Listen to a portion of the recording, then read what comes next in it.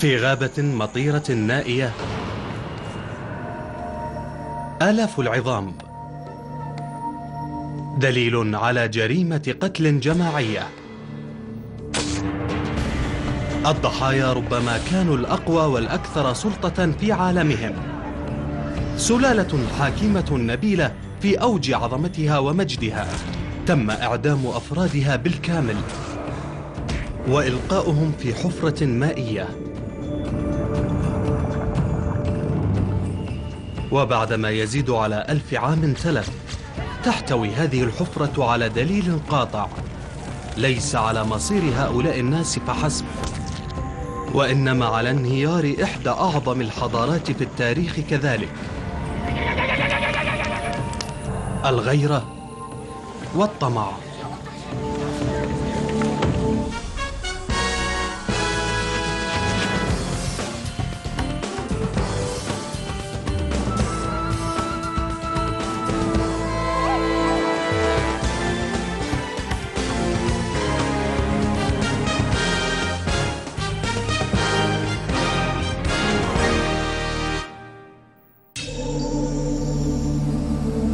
قبل قرون من وقتنا الحالي يخيم الليل على أرض نائية.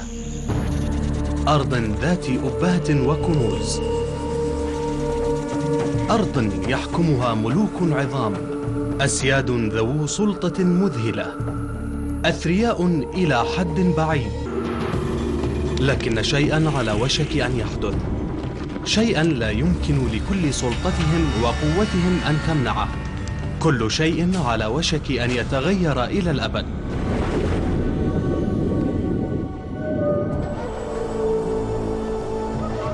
مدينة كان كوين في غواتيمالا.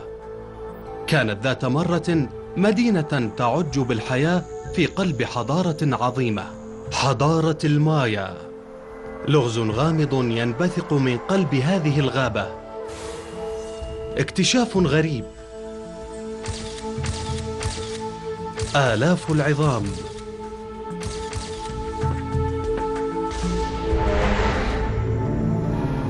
عظام كانت تعود يوما لبشر. يكاد مكتشفوها لا يصدقون ما عثروا عليه. في هذه الغابة عادة ما تقوم الحرارة والرطوبة والحشرات والتربة التي ترتفع فيها نسبة الأحماض بتحويل العظام المدفونة إلى تراب. ولكن هذه العظام تكاد تكون في حالة مثالية. وبالنسبة إلى عالم الآثار آرثر ديموريست فإنه اكتشاف نادر ومثير ومزعج للغاية كذلك. أشعر وكأنني محقق يدخل مسرح جريمة حيث توجد أشياء غريبة جدا. هناك أشياء كثيرة غريبة بخصوص هذا الأمر. غريبة ومزعجة. هناك عدد كبير من العظام. عدد كبير من الموتى. ربما عشرات الجثث البشرية تم إلقاؤها في بركة مائية. جميعها في الوقت ذاته. شيء مروع حدث لهؤلاء الأشخاص. ولكن ما هو هذا الشيء؟ ولماذا حدث؟ الاحتمال الأول أضحيات بشرية. أمر مروع بالنسبة إلينا ولكن بالنسبة إلى المايا فهو أمر ضروري للحياة. كانوا يؤمنون أن آلهتهم تطالب بالدماء البشرية. ولذا قام المايا بتقديمه لهم. ومنحتهم آلهتهم محاصيل وفيرة واعترفت بملوكهم كمخلوقات مقدسة.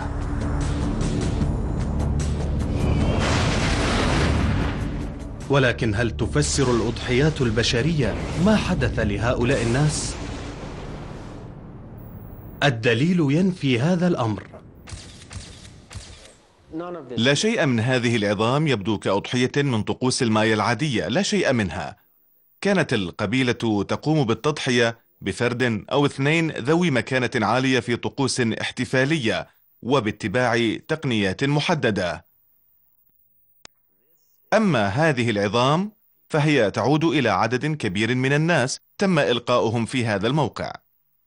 لا يبدو أن هؤلاء الناس قتلوا لإرضاء الآلهة. ولم يموتوا نتيجة أسباب طبيعية كذلك. يبدو أنهم قتلوا. هذه قطعا أكبر وأشنع مذبحة جماعية عثرنا عليها على الإطلاق. مذبحة دافعها مجهول. ضحايا مجهولون وكذلك مجرمون مجهولون. جريمة عمرها قرن من الزمان في انتظار أن يتم حلها. ما زال على هذه العظام المهشمة أن تكشف عن أسرارها. ولكن تم التوصل منذ الآن إلى دليل رئيسي وهو قطع خزفية عثر عليها مع العظام. ووفقا للخبراء فإن تاريخها يعود إلى العام 800 قبل الميلاد. اكتشاف ذو أهمية. اكتشاف يصطحبنا إلى موقع الجريمة. كانت كانكوين في قديم الزمان عاصمة نابضة بالحياة واحدة من عدة مدن كانت تغطي منطقة بحجم المكسيك أو إيطاليا. هذه المنطقة هي جنوب المكسيك وغواتيمالا وبليز وهندوراس في أيامنا هذه. قبل 1200 عام خلت كانت أرض المايا بضعة وخمسين مدينة مستقلة متوزعة عبر الغابة المطيرة.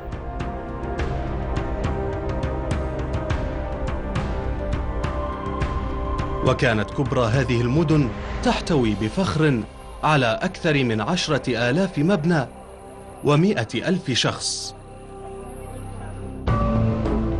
قام المايا بنصب مباني ساحرة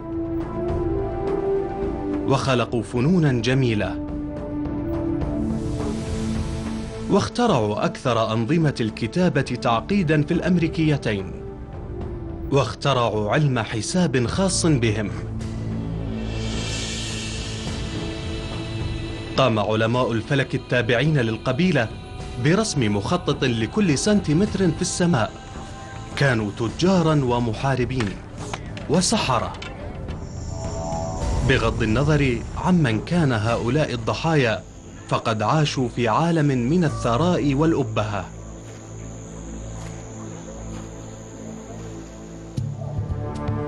لم تكن مدينتهم الأكبر.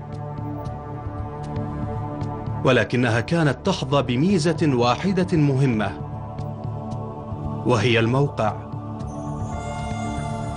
كانت كانكوين تشكل مكان تجمع طرق المايا التجارية الرئيسية.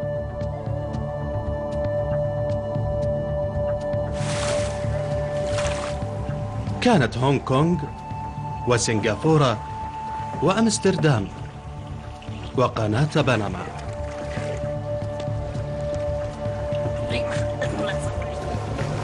في هذا الجزء من العالم إن كان المرء يريد شراء أو بيع أي شيء كان عليه أن ينقله عبر كانكوين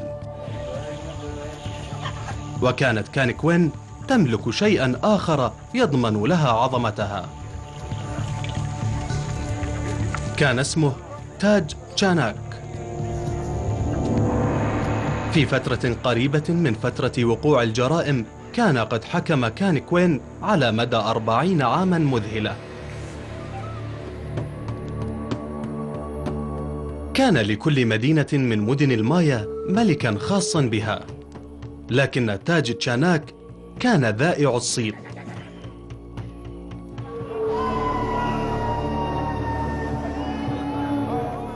كان شعبه يحضر طقوسا دينية عظيمة حيث كان يقدم دماءه للآلهة.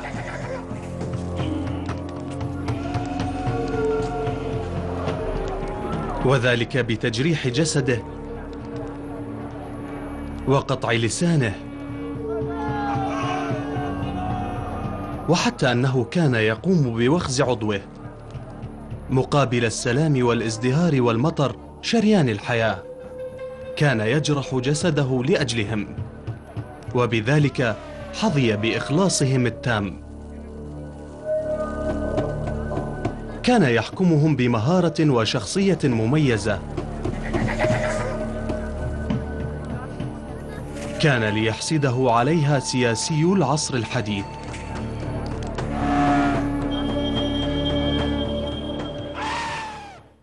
الملوك المقدسون الذين كانوا ناجحين حقا كتاج تشاناك هم الذين يجمعون في شخصياتهم بين بيكهام وميك جاجر وشيء من بيل كلينتون وربما ميكافيلي أو كيسنجر وذلك فيما يتعلق بعقد التحالفات. إذا كان يمكن الجمع ما بين كل هذه الشخصيات وشخصية الأب جون بول الثاني.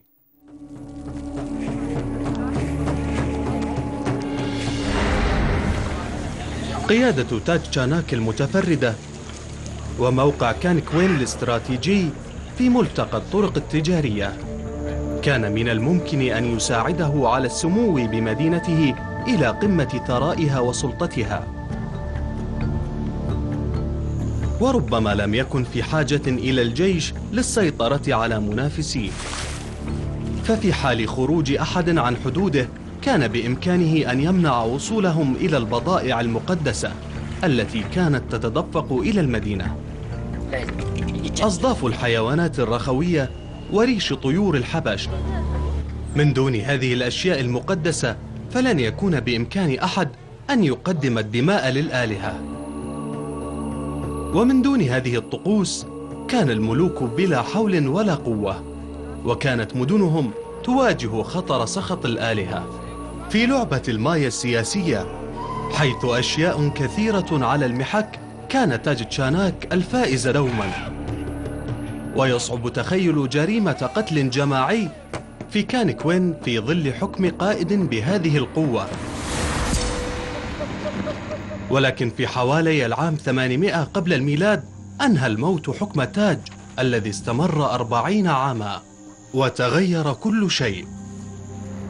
واجه هؤلاء الضحايا قدرهم المروع ولم يطل الأمر كثيرا قبل أن تختفي مدينتهم الثرية كان كوين كذلك. ولكن هذا جزء من الغموض فحسب. فخلال مئة عام تحولت جميع مدن المايا المحيطة إلى مدن أشباح.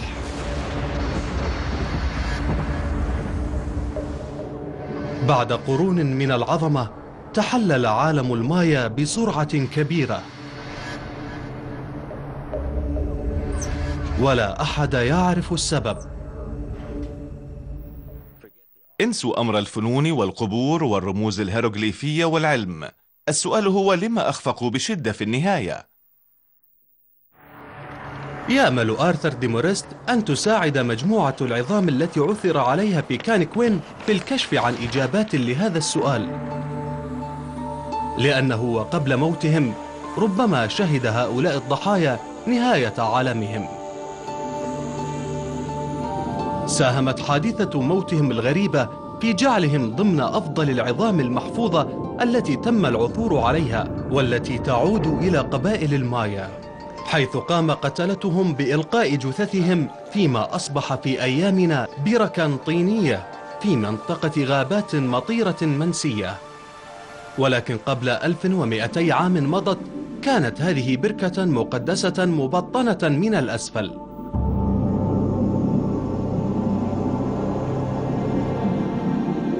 بالقرب من القصر الملكي في كان كوين غرقت الجثث في قاع البركة الطيني.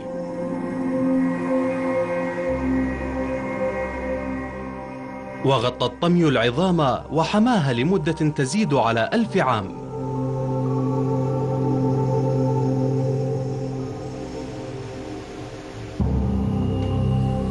والآن يمكن أن تكشف هذه العظام عن أشياء لم تكشفها أي عظام أخرى تعود إلى قبائل المايا.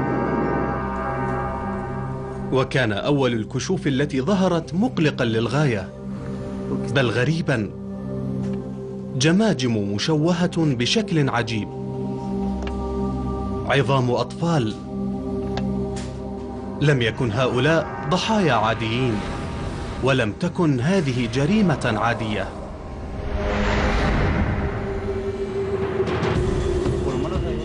في غواتيمالا اكتشاف نادر يسلط الضوء على جريمة قديمة ويشير الدليل إلى وقوع مذبحة شنيعة في مدينة قديمة من مدن قبائل المايا في وقت بدأت فيه حضارتهم بأكملها بالانهيار. كشفت بقايا العظام المهشمة أمرا غريبا في الحال. إنها الجماجم. ثمة خطب فيها. قمنا بالمقارنة بين شكل جبهة هذه الجمجمة وهذه. هذه الجمجمة تعرضت للدفع نحو الخلف. دفع مستمر نحو الخلف مما جعل أطراف الرأس تتوسع على كلا الجانبين. بمقارنة هذه الجماجم بجماجم عادية فإن الأولى لديها جبهة مسطحة.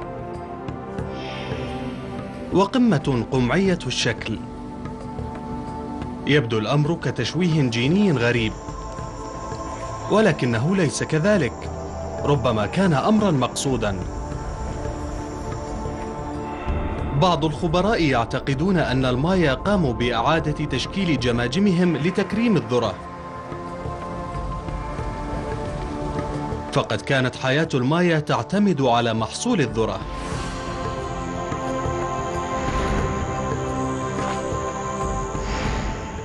وكتعبير عن عرفانهم ربما قدموا لآلهة الذرة هبة غريبة. وهي تغير شكل جماجم أطفالهم عند الولادة. الشيء المدهش في هذه الجمجمة هو تشويهها المتعمد.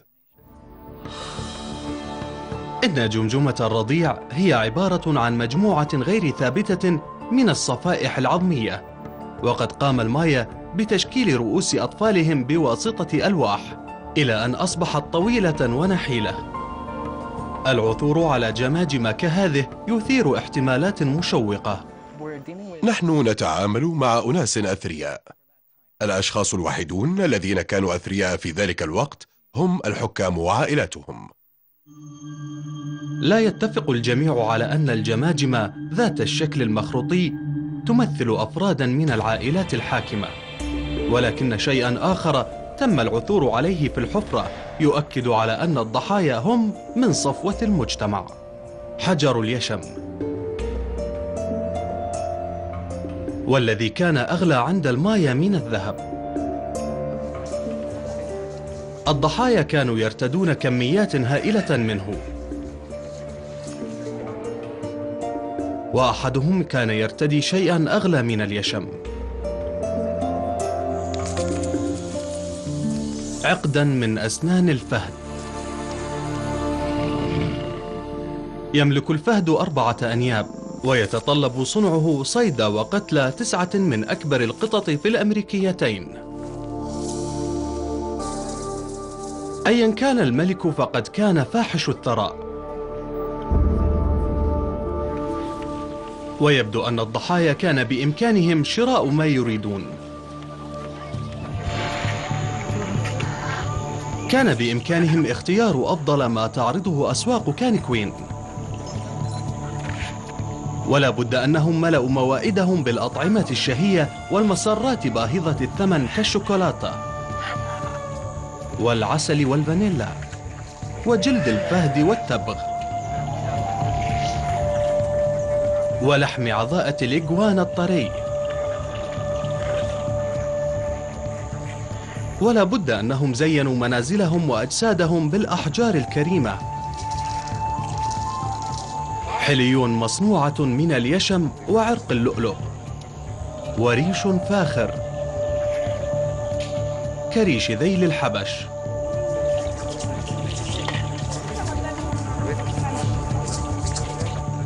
وحدهم النبلاء بإمكانهم أن يمتلكوا ريش الحبش. وإذا قتل شخص من عامة الشعب طائر الحبش فقد يتم إعدامه. هذه الحلي باليشم وريش الحبش وكل هذه الأشياء لا يمكن أن يمتلكها سوى النبلاء والملوك. لم تكن تعرض للبيع لأي كان بل كان لابد أن يكون الشاري زعيما مقدسا ليمتلكها. كان بإمكان رجال الطبقة الأرستقراطية في كانكوين الزواج من عدة نساء. كانوا يعيشون معهن في بذخ هائل. في قصر هائل يحتوي على 200 غرفة. أكبر من خمسة ملاعب كرة قدم. أحد أكبر المباني في عالم المايا.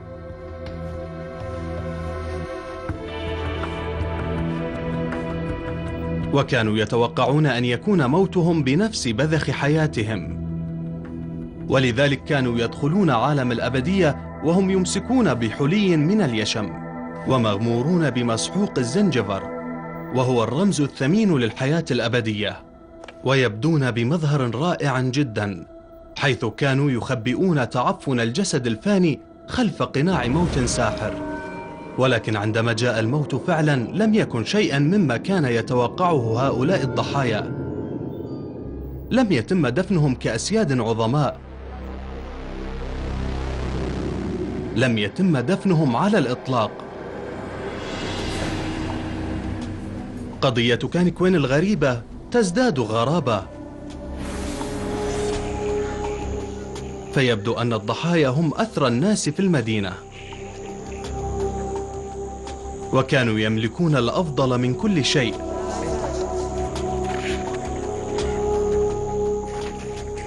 وأناس كثر كانوا يرغبون بما كان لديهم. لكن الدلائل تستثني أن تكون السرقة دافعاً. فمن الواضح أن قتلتهم قاموا بإلقائهم في الماء وهم ما يزالون يرتدون حليهم. الدافع في هذه المذبحة لم يكن المال. فماذا كان إذن؟ ها هي العظام تكشف حقيقة صاعقة أخرى. لم يكن جميع الضحايا رجالا. حوالي 31 شخصا ماتوا في هذه المذبحة. رجال ونساء وأطفال. وهناك اكتشاف آخر مزعج في حفرة الموت. دليل يشير إلى أن عملية الذبح هذه لم تكن بالبسيطة. بغض النظر عما حدث لهؤلاء الناس فهو لم ينتهي بالموت.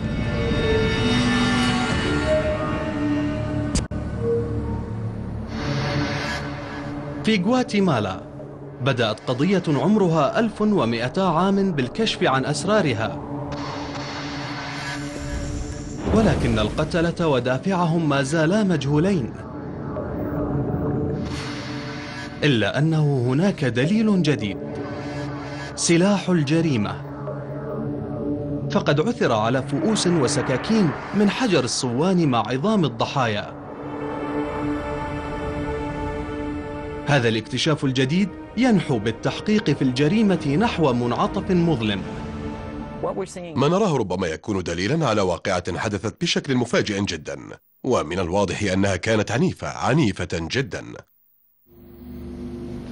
سبق ورأى المحققون دليلا كهذا من قبل. ولكن ليس من العصور القديمة. وإنما خلال الحرب الأهلية الدموية في غواتيمالا والتي تمثل جميعها أبشع جرائم القتل الجماعي في المذابح التي حدثت في عصرنا. حيث تم تهشيم عظام الضحايا وتقطيع أوصالهم. كانوا رجالا ونساء وأطفالا.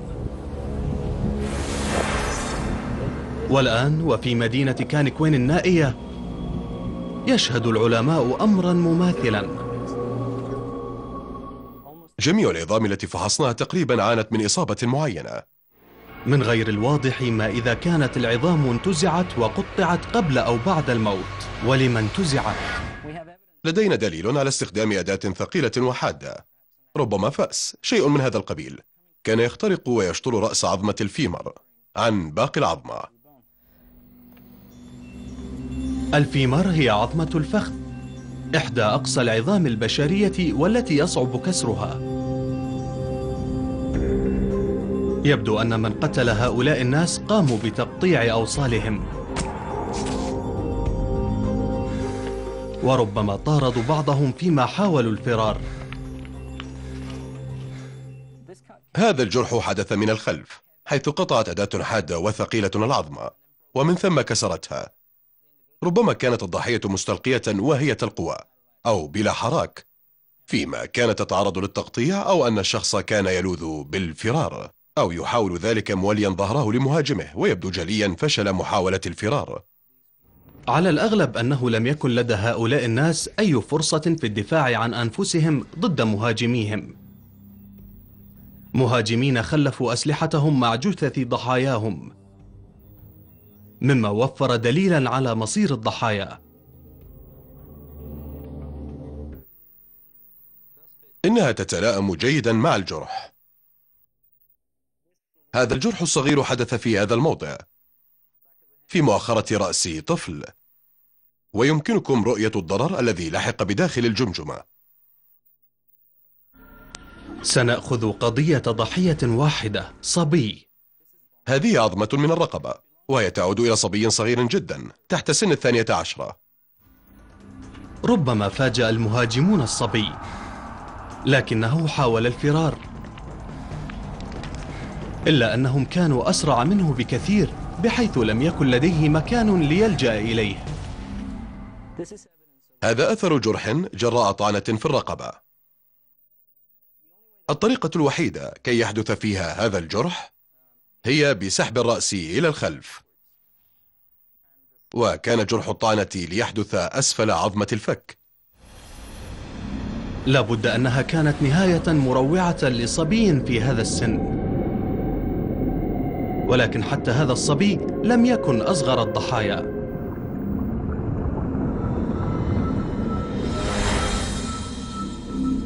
هذه عظمة رضيع. هذه عظام من الورك هذه العظمة الأصغر تعود إلى جنين يبلغ من العمر 32 أسبوعا. أما هذه فتخص جنينا في أسبوعه الثامن والثلاثين.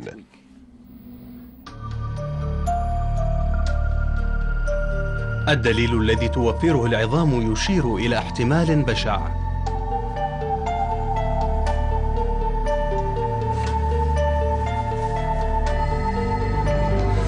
لم يكن هؤلاء جنودا ماتوا خلال الحرب ولم يكونوا أضحيات دينية أيعقل أن تكون هذه جريمة إبادة أسرة بأكملها؟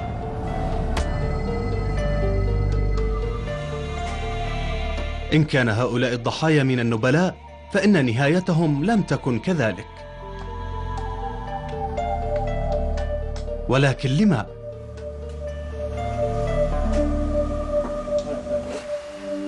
والآن وفي موقع الاكتشاف كشف جديد يعمق من غموض اللغز على بعد ثمانين يارد من بركة العظام تم العثور على قبر سطحي. وفي داخله عظام رجال متحللة إلى حد بعيد.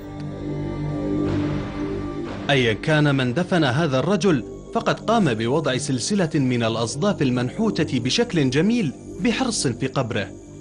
وهذا التصرف في عالم المايا يدل على التوقير والإحترام وتشريف للموتى ذوي المكانة الرفيعة. ولكن نبلاء المايا كانوا يرقدون في قبور مهيبة. أما قبر هذا الرجل فبالكاد كان يغطي جثته أسلوب الدفن هذا غريب حقا. لا يوجد بناء للقبر ولا كومة مرتفعة ولا حتى شاهد حجري. وهو محفور على ستين مترا وحسب داخل تربة طينية. ومع ذلك هذا الرجل يرتدي غطاء رأس أنيق وفاخر يمتد حتى يصل إلى قدميه. يبدو الأمر كعملية دفن سريعة ومفاجئة ولكن بقدر من الاحترام.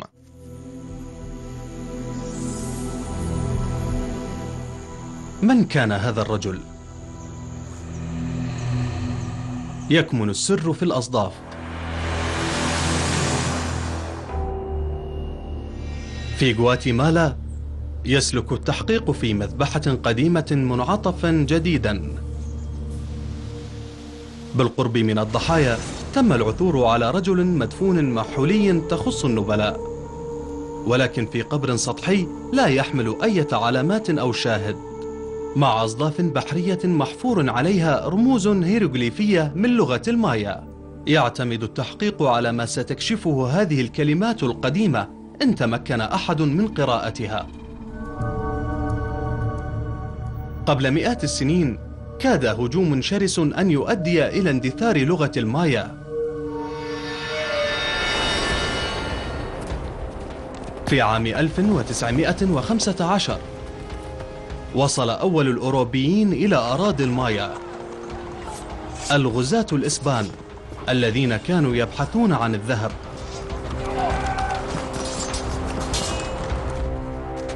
والبعثات المسيحية التي تستهدف الأرواح. لدهشتهم عثروا على كتب مكتوبة بلغة المايا. أكثر اللغات المخترعة تطورا بالأمريكيتين على الإطلاق. كتب تسجل عبقرية حضارة عظيمة. تقويم دقيق ونصوص فلكية. تصاميم لطقوس مهيبة. ولكن بالنسبة إلى الإسبان كانت هذه أعمالا تمثل الشيطان ونظرا لعجزهم عن قراءتها ولانزعاجهم من الرسوم الغريبة التي تحملها. قام الإسبان بإحراقها ولم ينجو من هذا الدمار سوى أربعة كتب فحسب. وبذلك ضاعت أكثر اللغات المخترعة تعقيدا في الأمريكيتين. ولم يتمكن الخبراء من فهم أسرار هذه اللغة إلا في الستينيات.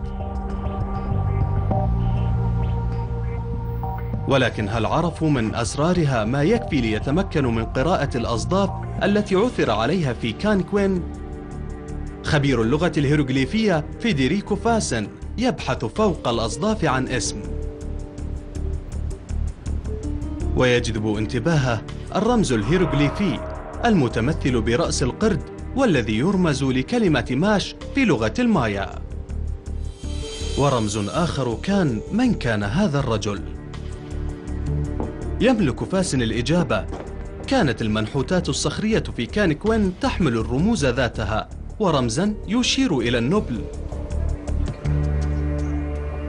اسم الرجل هو كان ماش.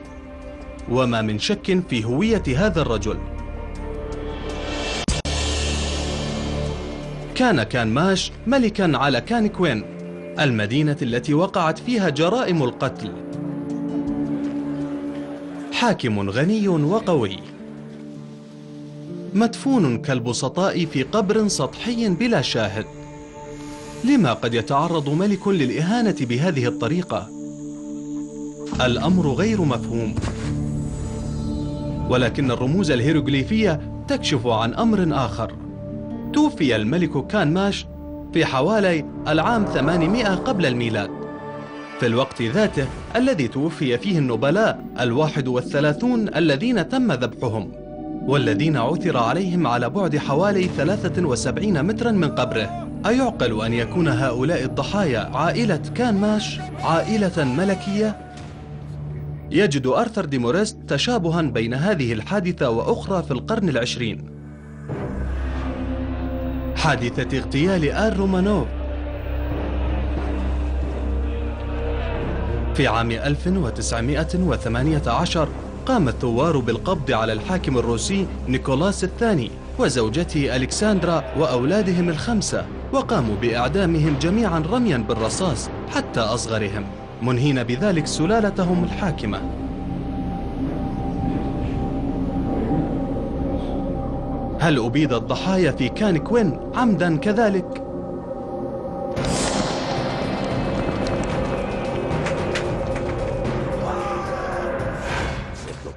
يبدو الأمر كاغتيال ملك وذبح لعائلته الملكية بالكامل. ثم لا شيء. تعرض الموقع للهجر. لابد أن ذلك كان انقلابا مدهشا في الحظ.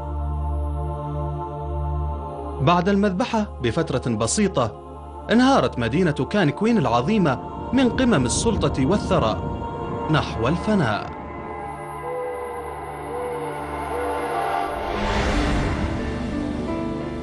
وفيما تتجمع الأدلة يظهر شيء واحد بجلاء.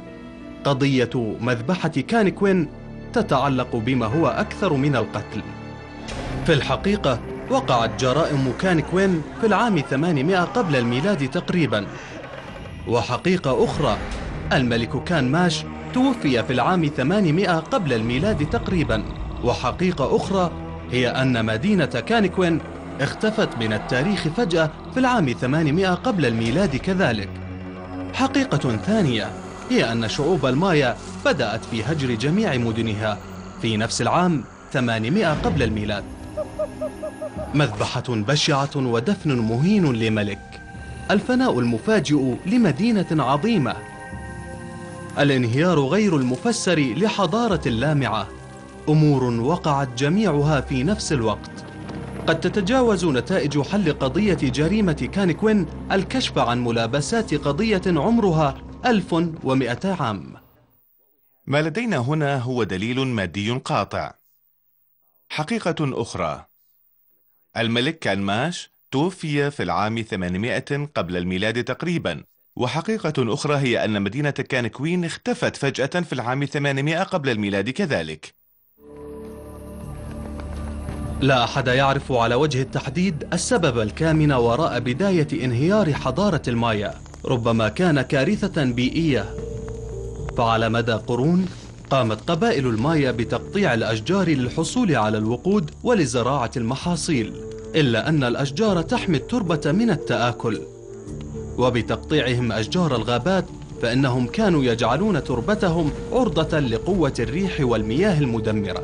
الأمر الذي حولها إلى أراض عقيمة قاحلة وذلك في نفس الوقت الذي بدأت فيه أسوأ موجة جفاف منذ قرون بإتلاف أراضيهم. ولكن معظم الخبراء يعتقدون أن الجفاف والمجاعة لم يكونا السببين الوحيدين في فناء حضارة المايا.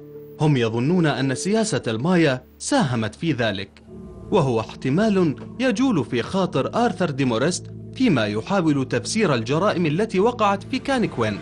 السكاكين والفؤوس التي عثر عليها مع الجثث تكشف عن سلاح الجريمة. ولكن الدافع قد يكون مخفيا على مدى عقود سبقت وقوع المذبحة.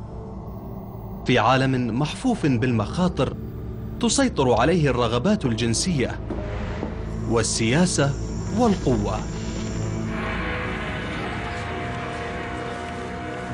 في حوالي عام 800 قبل الميلاد تم دفن الملك كان ماش بطريقة لا تليق بالملوك على الإطلاق.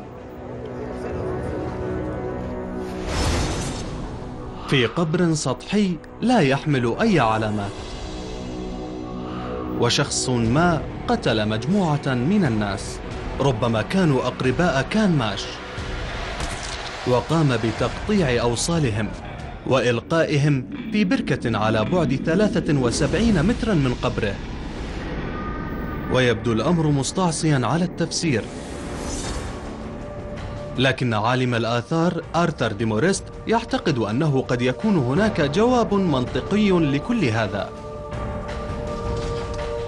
قد يساعد في تفسير إحدى أكثر الكوارث التاريخية استعصاء على الفهم. وهي الانهيار المفاجئ والتام لعالم المايا. في نفس وقت وقوع جريمة كانكوين تقريبا بدأت أعداد هائلة من الناس في هجر المدينة وغيرها من مدن المايا. وقد يكون ضحايا المذبحة رأوا جيوشا من اللاجئين يغادرون مدينة كانكوين ويرتحلون عبر الغابة المطيرة مشكلين عبئا على المدن الأخرى لدى وصولهم باحثين عن الطعام والملجأ. ما حدث كان له تأثير تسلسلي. انهيار وهجران هذه المدن في الغرب. المشكلة هي الأشخاص المشردين كما تدعوهم منظمة الأمم المتحدة في أيامنا. عشرات الألاف وربما مئات الألاف من الأشخاص يفقدون منازلهم ويهاجرون إلى مناطق أخرى. تزايد عدد الناس الذين داهمهم اليأس.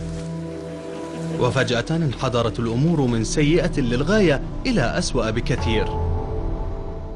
على حين غرة انتقل عشرة أو عشرون أو ثلاثون ألف شخص أو مئة ألف شخص إلى منطقة جديدة وعندها انهارت الأوضاع بحق. انهارت الأوضاع بسرعة مذهلة. وبعد وفاة ضحايا المذبحة مباشرة لم يعد لمدينة كانكوين أي وجود. وأخذ عالم المايا المذهل بالاختفاء. فيما حلت الفوضى وسفك الدماء بسرعة لملء الفراغ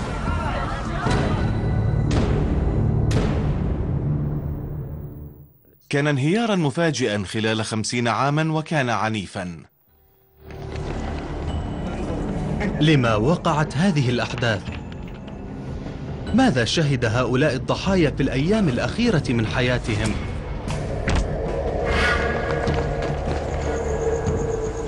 لطالما ساد الشك في أن سبب الانهيار كان مزيجا مهلكا من الجفاف وارتفاع كبير في نسبة السكان. عدد كبير من الناس وطعام قليل قاد إلى اندثار حضارة المايا.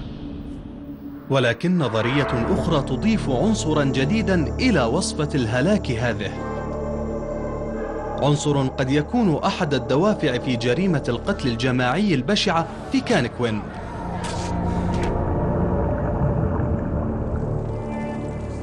جرائم قد تعود على أبعد المجرمين عن الشبهات. والد كان ماش. الملك تات تشاناك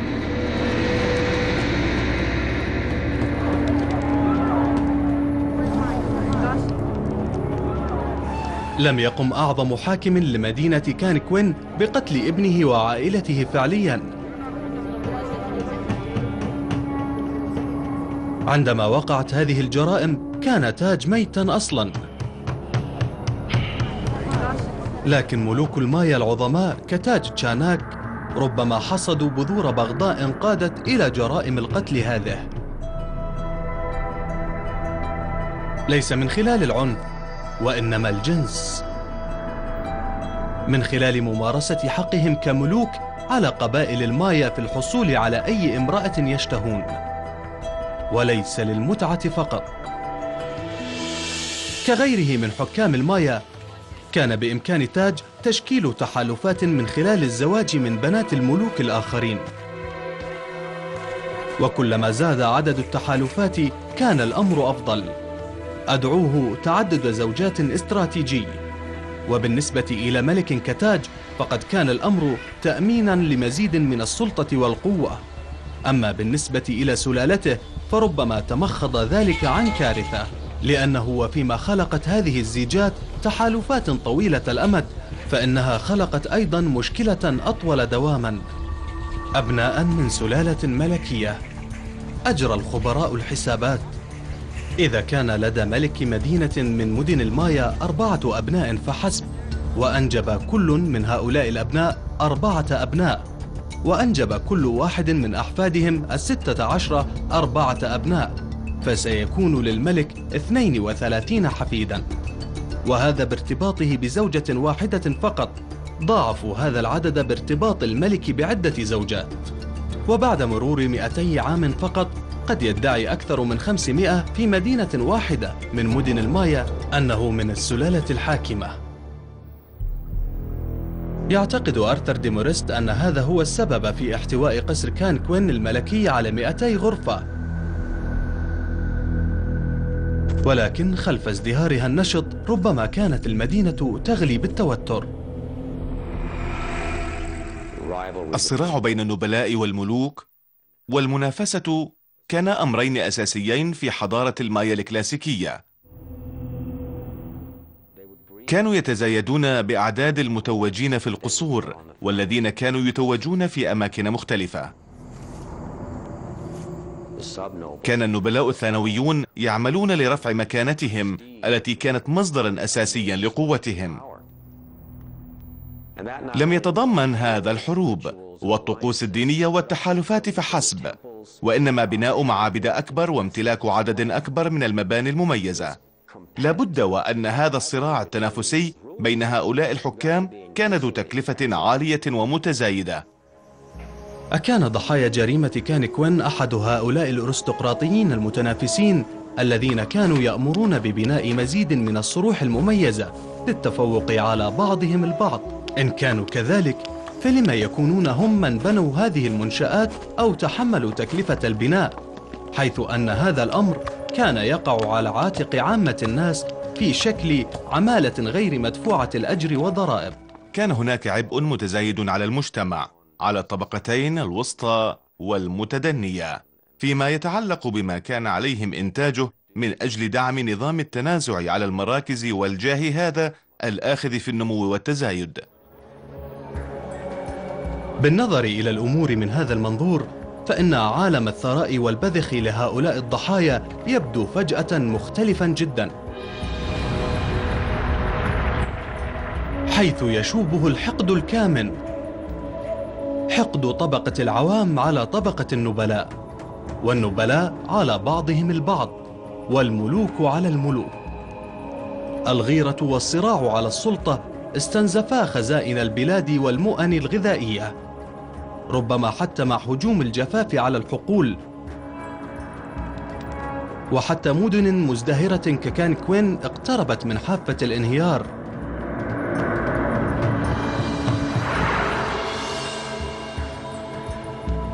فجأة لم يعد الدفن المهين لكان ماش مثيرا للعجب بدرجة كبيرة. ولم تعد مذبحة عائلة ملكية بأكملها حادثة غريبة جدا. يعتقد آرثر ديموريست أنه وبحلول العام 800 قبل الميلاد وحده ملك بقوة تاج تشان آك كان من الممكن أن يقبض على واجهة مدينة كانكوين المتداعية لتتماسك.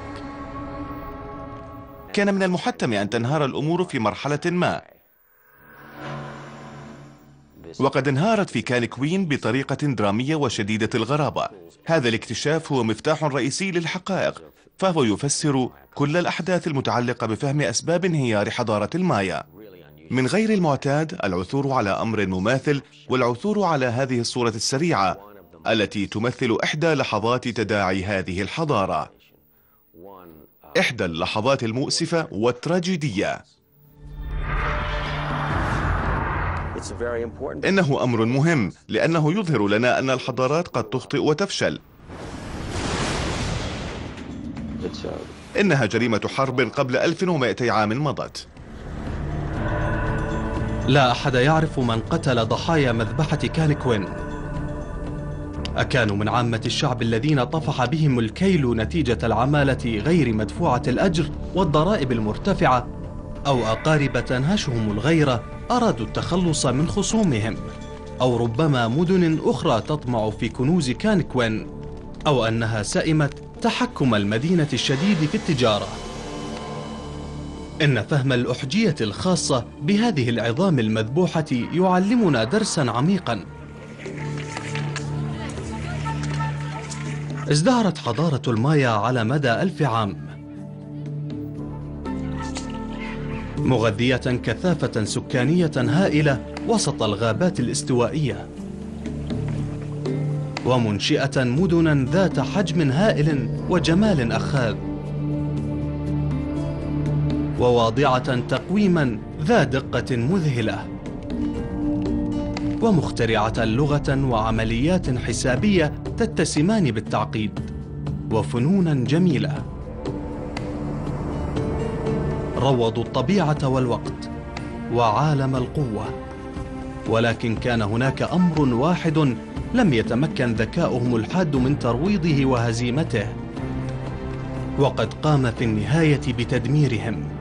لم يتمكنوا من ترويض أنفسهم.